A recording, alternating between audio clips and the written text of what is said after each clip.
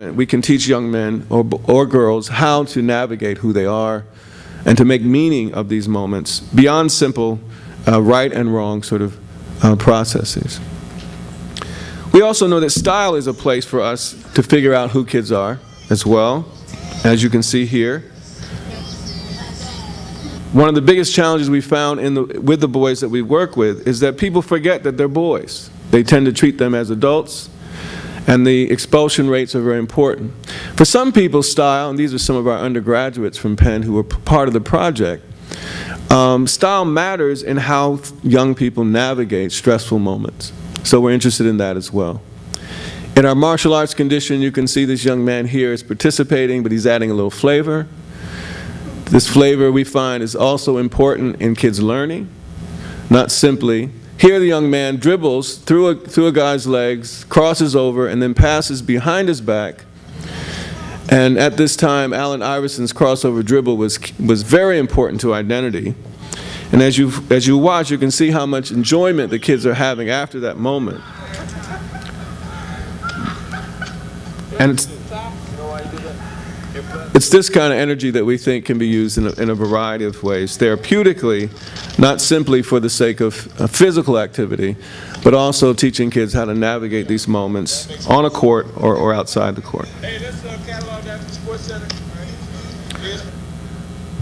The final thing I'd like to say about what we're trying to do is teach young people how to um, realize the context they're in. For the boys that we're working with, um, racism is a big issue.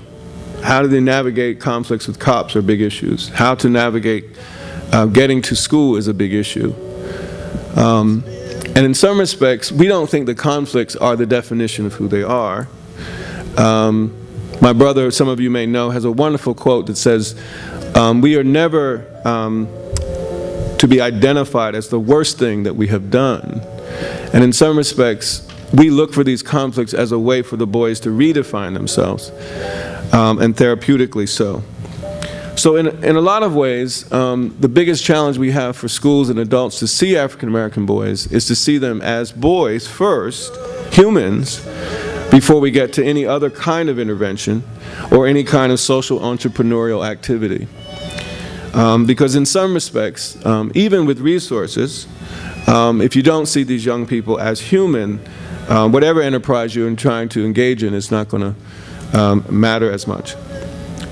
So um, I'm going to I'm going to end there, except to say that one of the ideas that relate to participating uh, in this work is how could we actually think about phys ed, recess, um, and uh, engagement in sports as therapy as opposed to simply uh, athletic competition, um, as simply as um, a break from academics, but as a way to promote how kids think about themselves, how they actually fight for themselves, how they speak up about themselves, how they debate political uh, or, or sports arguments.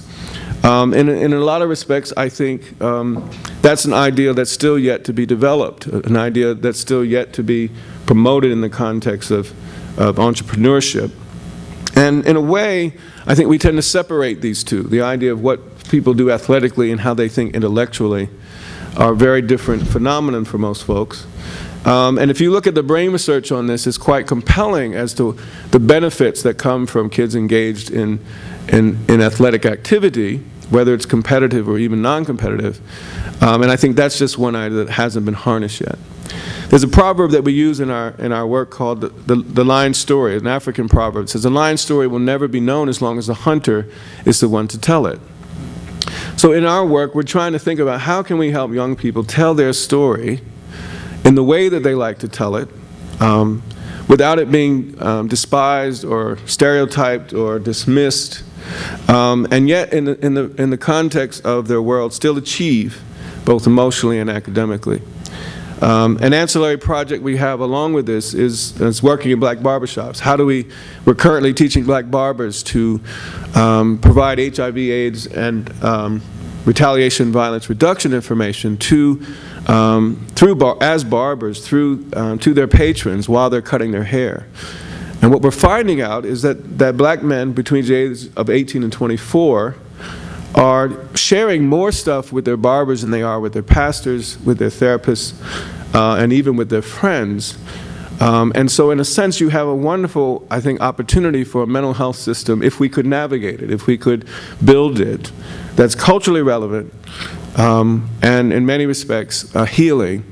Um, but these are still ideas that I think consider racial realities, um, not simply um, um, uh, social ones, and in, in, many respects still brings us back to that place of how do we help um, folks tell the story um, in, their, in their own lives. So I'm going to stop there. Thank you.